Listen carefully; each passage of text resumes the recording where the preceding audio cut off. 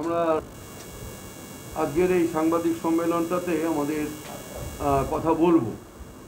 প্রথমত হচ্ছে যে আমাদের, এর আগেই আমরা বলেছিলাম যে আমাদের প্রতিটি বিধানসভা কেন্দ্রের জন্য আমাদের প্রার্থী, তাদের পরিচিতি এবং যে কাজ আগামী দিনে করতে হবে, সেই সম্পর্কিত আমাদের আবেদনপত্র আমরা সমস্ত সবকটি বিধানসভা কেন্দ্রের জন্যই জনগণের কাছে আমরা পৌঁছে দেব।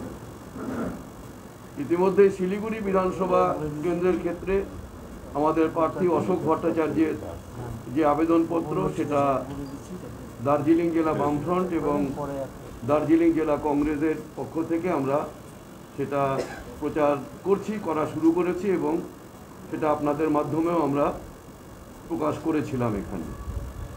আজকে আমরা আমাদের সংযুক্ত মোর্চা সমর্থিত বামফ্রন্টের সিপিআইএম প্রার্থী ডাবগ্রাম ফুলবাড়ি কেন্দ্রে কমরেড দিলীপ সিং তার পক্ষ তার জন্য তার পরিচিতি আগামী দিনে করণীয় কাজ, এলাকার বিশেষ কিছু বিষয় নিয়ে যে বক্তব্য, সেটা দার্জিলিং জেলা বামফ্রন্ট, জলপাইগুড়ি জেলা বামফ্রন্ট, যেহেতু ডাবগ্রাম ফুলবাড়িটা প্রশাসনিকভাবে জলপাইগুড়ি জেলার মধ্যে। জলপাইগুড়ি জেলা বামফ্রন্ট এবং জলপাইগুড়ি জেলা কংগ্রেসের পক্ষ থেকে যৌথভাবে আমরা, আমি, কংগ্রেস সলিল আচার্য এবং জলপাইগুড়ি জেলা কংগ্রেসের সভাপতি পিনাকি সেনগুপ্ত। আমাদের যৌথ বিবৃতি আকারে দিলীপ সিংয়ের এই আবেদনপত্রটি আজকে আমরা প্রকাশ করছি। কিন্তু আমরা এটা প্রথমেই বলে নিতে চাই যে এরপরে দিলীপ সিংহ একটু বলবেন যে এবারকার এই নির্বাচনে আমরা যে আহ্বান মানুষের কাছে রেখেছি, তৃণমূল কংগ্রেসের এই যে জনবিরোধী সরকার, স্বৈরাচারী, দুর্নীতিপরায়ণ এবং বিশেষ করে যুব সমাজের সমস্ত আশাকে ধূলিসাৎকারী এই যে সরকার এই সরকারকে একে পরাজিত করে এবং আরও ভয়ঙ্কর বিপদ যে দেশের এবং আমাদের রাজ্যের, যারা বিভাজনের রাজনীতি করে, যারা কর্পোরেট হিন্দুত্বের মাধ্যমে গরিবের সর্বনাশ করে, আবার গরিবকে ভাগ করে ধর্মের ভিত্তিতে। যারা আমাদের যে রাজ্যের যে সংস্কৃতি, রাজনৈতিক সংস্কৃতি, আমাদের রাজ্যের যে স্বনির্ভরতার ভাবনা এই ভাবনার বিপরীতে দাঁড়িয়ে যারা দখলদারি রাজনীতি কায়েম করতে চায়, সেই বিজেপিকেও আমাদের প্রতিহত করতে হবে। আর তার মাধ্যমেই এই নির্বাচনে, সপ্তদশ বিধানসভা নির্বাচনে আমাদের রাজ্যে সংযুক্ত মোর্চার সরকার গঠন করতে হবে। এই আহ্বান জানিয়ে যে প্রচার আমরা করছি, আমরা দেখছি ডাবগ্রাম ফুলবাড়ি কেন্দ্র বা শিলিগুড়ি বা অন্যত্র মানুষের মধ্যে ব্যাপক সাড়া আমরা পাচ্ছি। এবং স্বতঃস্ফূর্তভাবে মানুষ সাড়া দিচ্ছে, এমনকি বিগত দিনে, বিগত সময়ে যারা রাজনৈতিকভাবে হয়তো আমাদের সঙ্গে অনেক প্রশ্নে সহমত ছিলেন না, এই নির্বাচনেও তারা এসে স্বতঃস্ফূর্তভাবে আমাদের পাশে দাঁড়াচ্ছেন, এমনকি আমাদের প্রচারের সময়ও আমাদের সঙ্গে থাকছেন, অংশগ্রহণ করছেন, পরামর্শ দিচ্ছেন।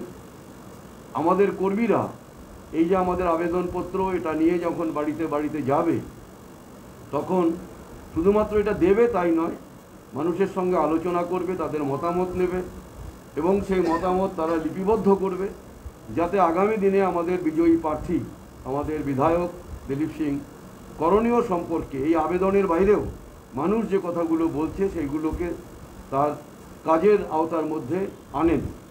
আমরা এই আবে- আবেদনপত্র আজকে এখান থেকে এই দৃষ্টিভঙ্গি নিয়েই, এই লক্ষ্য নিয়েই আমরা এখানে প্রকাশ করছি। কমরেড দিলীপ সিংহ একটু বলবেন আপনাদের কাছে, আবেদন রাখবেন। এখানে অশোক ভট্টাচার্য, আমাদের নুরুল ইসলাম সমন পাঠক, মুকুল সেনগুপ্ত, তারা আছেন। আমরা এই আবেদনপত্রটা, আমরা দিলীপ সিং বলার পরে এটা প্রকাশ করব। তারপরে আমাদের কিছু কর্মসূচি, নির্বাচনী প্রচারের কর্মসূচি। ইতিমধ্যেই যা আমরা গ্রহণ করেছি, সে সম্পর্কে আমি কিছু আপনাদের কাছে রাখব এবং আশা করব আপনারা সেটা প্রচারের মধ্যে আনবেন এবং তারপরে আরও আপনাদের কিছু প্রশ্ন থাকলে পরে বলা হবে। অশোক ভট্টাচার্যও কিছু তার যে প্রচারের অভিজ্ঞতা ইত্যাদি তিনি এখানে বলবেন। তা আমি বলব যে দিলীপ সিং প্রথমে যদি সংক্ষেপে একটু আবেদন আপনাদের কাছে রাখেন নমস্কার। চব্বিশ বছর ধরে আমি শিলিগুড়ি মিউনিসিপ্যাল কর্পোরেশনে জনপ্রতিনিধি হিসাবে কাজ করছি। এই ছাব্বিশ বছরের মধ্যে পাঁচটা নির্বাচন শিলিগুড়ি মিউনিসিপ্যাল কর্পোরেশনে উত্তীর্ণ হয়েছি আমি। দুইবার মানুষ দেখেছে, হাইয়েস্ট ভোট শিলিগুড়িতে জনপ্রতিনিধি হিসাবে দিয়েছে। যখনই আমি সুযোগ পেয়েছি কাজ করার, মানুষের পাশে থেকে, মানুষের কাজ করেছি এটাই প্রমাণিত হয়ে এই ছাব্বিশ বছর ধরে জনপ্রতিনিধি হিসাবে কাজ করার মধ্য দিয়ে। দুইবার আমি চেয়ারম্যান ছিলাম। এই লাস্ট বোর্ডেও যখন হাইয়েস্ট ভোটে জিতে আসি, পার্টি আমাকে দায়িত্ব দেয় চেয়ারম্যান। খুব ক্রুশিয়াল খুব টাফ টাইম ছিল। কিন্তু এই টাফ টাইমেও চেয়ারম্যান হিসাবে, এর আগেও চেয়ারম্যান হিসাবে এমআইসি বিল্ডিং হিসাবে গুরু দায়িত্বটা নির্বাহ করেছি, শিলিগুড়ির মানুষ এইগুলো দেখেছে। আমাদের এই বিধানসভা কেন্দ্রে দশ বছর ধরে মানুষ তৃণমূল কংগ্রেসকে ভরসা দিয়েছিল, তৃণমূল কংগ্রেসকে জিতিয়েছিল। তৃণমূল কংগ্রেস দুই হাজার এগারোতেও যিনি বিধায়ক, মন্ত্রী, তিনি প্রতিশ্রুতি দিয়েছিলেন এই এলাকাতে যে পঞ্চায়েতগুলো চারটি পঞ্চায়েত আছে আরবানাইজেশন হয়েছে শহরীকরণ হয়েছে। এই এলাকাগুলোতে আজকে পঞ্চায়েত পরিষেবা দিতে পারছে না। সেই এলাকাগুলোকে মিউনিসিপ্যালিটি করবেন তার প্রতিশ্রুতি ছিল। এই এলাকাতে পানীয় জলের একটা বিরাট সমস্যা। আমাদের চোদ্দটি ওয়ার্ড শুধু না এই পুরো শিলিগুড়ি মিউনিসিপ্যাল কর্পোরেশন আমরা ডিপিআর পাঠানো পঞ্চায়েত এলাকাতেও জল শুকে যাচ্ছে। আন্ডারগ্রাউন্ড ওয়াটারের বিরাট সমস্যা। তার প্রতিশ্রুতি ছিল লিখিত প্রতিশ্রুতি ছিল। পাঁচশো কোটি টাকার যে প্রজেক্ট সেটা তো অ্যাপ্রুভাল দেননি। সেই পঞ্চায়েত এলাকাতেও জলের কোনো অগ্রগতি হয়নি। আমরা যা প্রকল্প যে ছেড়ে গিয়েছিলাম সেটাতেই বন্ধ হয়ে আছে।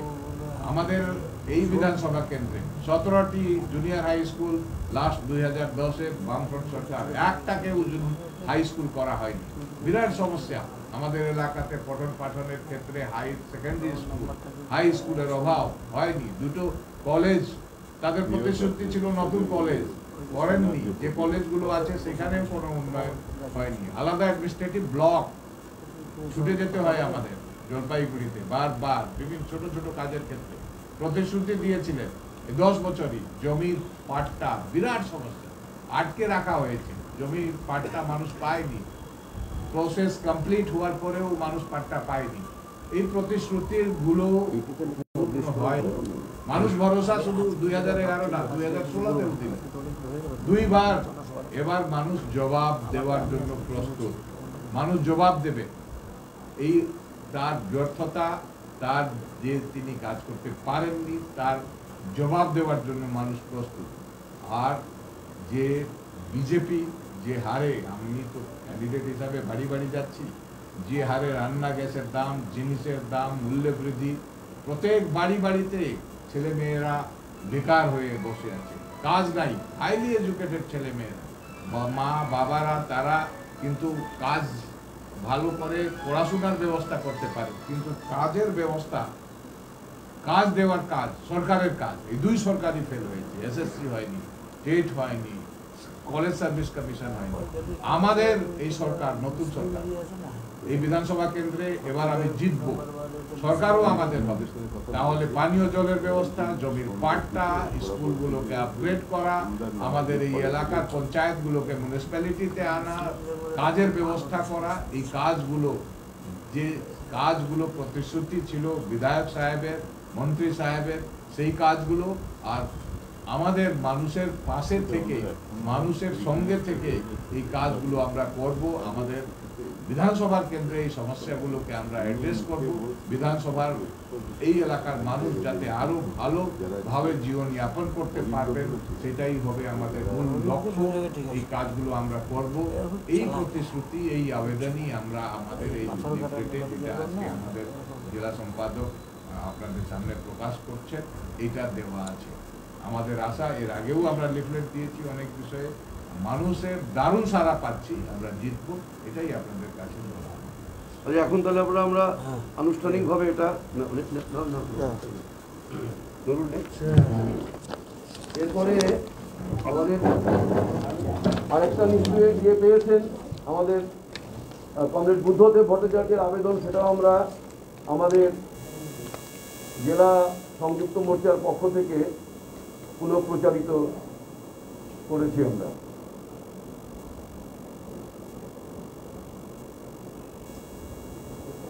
বুঝলে এই এই সবাইকে। এই সবাইকে দিয়ে দিতে এই সবাই একটু নিয়ে নেন না হাতে হাতে একটু। কেউ একটা দিয়ে দিতে নাই এখানে।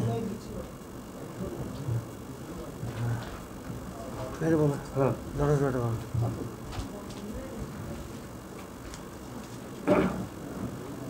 আচ্ছা আমাদের পরবর্তী যে বিষয় আপনাদের কাছে বলছি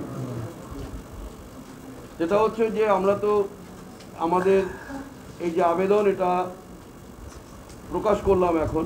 একই সঙ্গে আপনাদের হাতে পৌঁছে দেওয়া হচ্ছে বা পৌঁছে দেওয়া হবে আমাদের মাননীয় বুদ্ধদেব ভট্টাচার্যের যে আবেদন, সেটি আমরা আমাদের জেলার পক্ষ থেকে পুনঃপ্রচারিত করেছি। সেটিও একটি করে কপি আপনাদের হাতে দেয়া হবে।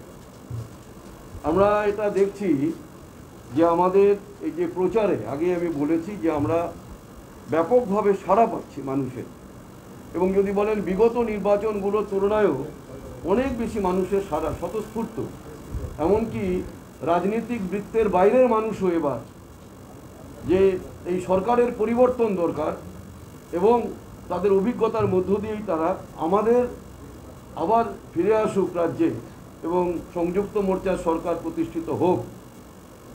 এই ভাবনাই কিন্তু আমরা দেখতে পাচ্ছি মানুষের মধ্যে। আমাদের বামফ্রন্টের পক্ষ থেকে ইস্তাহার, আমাদের পার্টির পক্ষ থেকে আবেদনপত্র প্রচার করা হয়েছে। সেগুলো আমরা দিচ্ছি বাড়িতে বাড়িতে। আর ছোট একটা পুস্তিকা মানে কয়েকটি বিষয় নিয়ে আমরা পুস্তিকাগুলো প্রকাশ করেছি। আমরা ছোট, বড় অনেক জনসভা আমরা করব। এখন আমাদের ডোর টু ডোর ক্যাম্পেইন চলছে। আমাদের ভোটার স্লিপ দেওয়া বাড়িতে বাড়িতে যাওয়া, আবেদনপত্র দেওয়া সেই কাজ। কিন্তু আমরা বড় জনসভা, প্রথম বড় জনসভাটা আমরা করছি, যেটা হচ্ছে আগামী পাঁচই এপ্রিল, বিকেল চারটের সময় বামফ্রন্ট এবং জাতীয় কংগ্রেস, অর্থাৎ সংযুক্ত মোর্চারই আহ্বানে, বাঘা যতীন পার্কে বিকেল চারটার সময় আমরা এই জনসভা আমরা করছি। পাঁচই এপ্রিল, সোমবার বিকেল চারটে বাঘা যতীন পার্ক। এই জনসভাতে প্রধান বক্তা হিসেবে উপস্থিত থাকবেন সূর্যকান্ত মিশ্র, আমাদের সিপিআইএমের পশ্চিমবঙ্গ রাজ্য সম্পাদক। উপস্থিত থাকবেন অধীর চৌধুরী, প্রদেশ কংগ্রেস সভাপতি। প্রদীপ ভট্টাচার্য উপস্থিত থাকবেন, সাংসদ এবং কংগ্রেসের নেতা। আজকে ওর নির্বাচন চলছে। এখন নির্বাচনের চেহারা কি হয় পরবর্তীকালে, এসব দেখে এখনও পর্যন্ত ঠিক আছে আমাদের যুবনেত্রী এবং আপনারা সবাই এখন সে খুব পরিচিত, নন্দীগ্রামেও আমাদের প্রার্থী মীনাক্ষী মুখার্জি। সেই সঙ্গে অশোক ভট্টাচার্য সহ বামফ্রন্টের নেতৃবৃন্দ এবং কংগ্রেসের স্থানীয় নেতৃবৃন্দ তারা থাকবেন। এই বাঘাযতীন পার্কের এই সমাবেশ, এই সমাবেশকে আমরা বলছি আমাদের জেলার সমতল এলাকা। এটা আমাদের কেন্দ্রীয় নির্বাচনী সমাবেশ। এবং এই সমাবেশ করার পরে আমরা দশ তারিখ থেকে শুরু করে পনেরো তারিখ পর্যন্ত আমাদের নিবিড় প্রচার, অনেক ছোট, বড় সভা, মিছিল, স্কোয়াড এসব হবে। যে প্রচার আমাদের চলছে বাড়ি বাড়ি যাওয়ার, তার সঙ্গে এগুলোকেও যুক্ত করা হবে। আর তার সর্বশেষে আমাদের প্রতিটি বিধানসভা কেন্দ্র ভিত্তিক জনগণের কাছে আহ্বান জানিয়ে মহামিছিল আমরা করব আমাদের এই সমতল এলাকার বিধানসভা কেন্দ্রগুলোতে। কোনোটায় তেরো তারিখ, কোনোটায় চোদ্দ তারিখ, কোনোটায় পনেরো তারিখ। আমরা জানেন যে পনেরোই এপ্রিল ছটার সময় হবে নির্বাচনী প্রচারের শেষ। তা সেইভাবে আমরা করব এই মহা মিছিলগুলো। আমাদের স্থানীয় যে আঞ্চলিক যে জনসভাগুলো হবে, সেখানেও আমাদের জেলার যারা নেতৃত্ব তাদের পাশাপাশি উপস্থিত থাকবেন। আমরা পরে তারিখ এবং স্থানগুলো জানিয়ে দেব। এক এক দিনে একাধিক সভা হবে। তিনটে, চারটে, পাঁচটা করে সভা হবে। কমরেড মোহাম্মদ সেলিম থাকবেন। কমরেড সুজন চক্রবর্তী থাকবেন। কমরেড মীনাক্ষী মুখার্জি তিনি আসবেন, থাকবেন। কমরেড সুশান্ত ঘোষ থাকবেন। আমাদের যুব নেতা কমরেড শতরূপ ঘোষ থাকবে এর সঙ্গেও কংগ্রেস দলেরও তাদের প্রাদেশিক নেতৃবৃন্দ এবং জেলা নেতৃবৃন্দ তারাও থাকবে এবং তাদের নামের তালিকাটা তারাও এক দুই দিনের মধ্যে আমাদেরকে দিয়ে দেবে। সেইভাবে আমরা সবটা মিলিয়েই, অর্থাৎ আমাদের শিলিগুড়ি ডাবগ্রাম ফুলবাড়ি মাটিগালা নকশালবাড়ি ফাঁসিদাওয়া এই চারটা বিধানসভা কেন্দ্রের আমরা করব। আর দার্জিলিংয়ে আমরা কেন্দ্রীয়ভাবে একত্রিশ তারিখে আমাদের চকবাজারে সভা আমরা করেছি, প্রচার সভা। আমরা চেষ্টা করব দার্জিলিং এবং কার্শিয়াংয়েও আরও আমাদের ওখানকার বাস্তব অবস্থা অনুসারে সভাগুলো করার। এই কর্মসূচিগুলো আপনাদের কাছে এখানে আমরা রাখলাম এবং না, আমরা দার্জিলিংয়েরটা কালকে হয়ে গেছে একত্রিশ তারিখে এবং পরবর্তী তারিখগুলো পরে আপনাদেরকে জানিয়ে দেওয়া হবে। আর আমরা এটা বলছি যে বারো তারিখে যে ওই বিধানসভার যে কেন্দ্রীয়। বলুন আর আমরা এটাও বলছি যে আমরা এখনও পর্যন্ত এটা দেখছি যদিও যে নির্বাচনী প্রচার ইত্যাদি এখানে শান্তিপূর্ণভাবেই হচ্ছে কিন্তু গোটা রাজ্যের নির্বাচনী প্রচারে বিশেষ করে দুটো শাসক দল বিজেপি এবং তৃণমূল কংগ্রেস তারা যে ভাষা যে আচরণ যা ব্যবহার করছে এটা মানে রাজনৈতিক সংস্কৃতির একেবারে বিপরীত।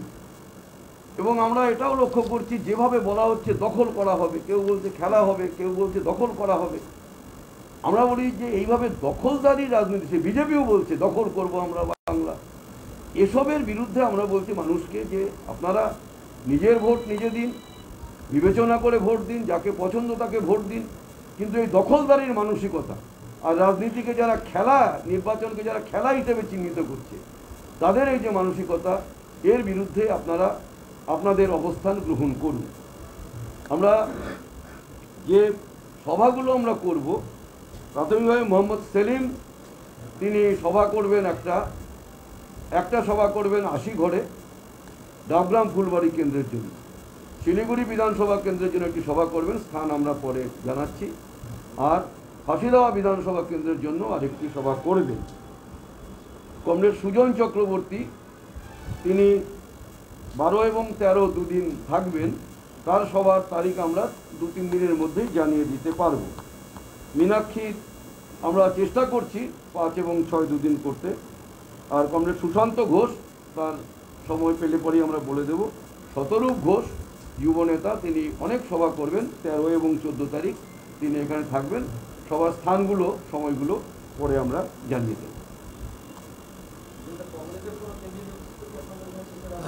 অধীর অধীর চৌধুরী আসছেন প্রদীপ ভট্টাচার্য আসছেন এবং আরও আসবেন। এখনও পর্যন্ত অধীর চৌধুরী এবং প্রদীপ ভট্টাচার্য এবং পাঁচ তারিখে তো দুজনই থাকবেন আরও তারা নামগুলো দেন নামগুলো ওরা দিয়ে ওরা নাম দিয়ে দেবেন ওরা নাম দিয়ে দেবেন। আসলে নির্বাচন তো ধাপে ধাপে হচ্ছে তো। এক একটা জায়গাতে এক একজন কেউ আবার প্রার্থী আছে ওদের। এটাও সমস্যা আছে। মহামিছিলগুলোতে মহামিছিলগুলোতে আমাদের চেষ্টা করব। ডাবগ্রাম ফুলবাড়ি কেন্দ্রের মহামিছিলে আমাদের একজন কেন্দ্রীয় নেতৃত্ব থাকবেন সেটাকে থাকবে আমরা পরে জানাব। আর শিলিগুড়ির মহামিছিলে আমাদের নেতৃত্বের পাশাপাশি যেহেতু আমাদের প্রার্থী অশোক ভট্টাচার্যকে তিনি খুবই আন্তরিকভাবে ভালোবাসেন শ্রদ্ধা করেন এবং ঘটনাক্রমে গতবার অশোক ভট্টাচার্যের বিরুদ্ধেই তিনি প্রতিদ্বন্দ্বিতা করেছিলেন নির্বাচনে। বাইচুং ভুটিয়া তিনি বলেছেন তিনি আমাদের এই মহামিছিলে অশোক ভট্টাচার্যের সমর্থনে মহামিছিলে তিনি উপস্থিত থাকবেন। আমরা তারিখটা পরে বলে দিচ্ছি তারিখ পরে বলে দিচ্ছি। আমাদের এসব মিছিলে আগে পারমিশন করতে হয় তো এখন ইলেকশন কমিশনের থেকে। পারমিশন করে করে আমরা তারিখ বলে দেবো হুম? ঠিক আছে তাহলে? ঠিক আছে। সবাইকে ধন্যবাদ।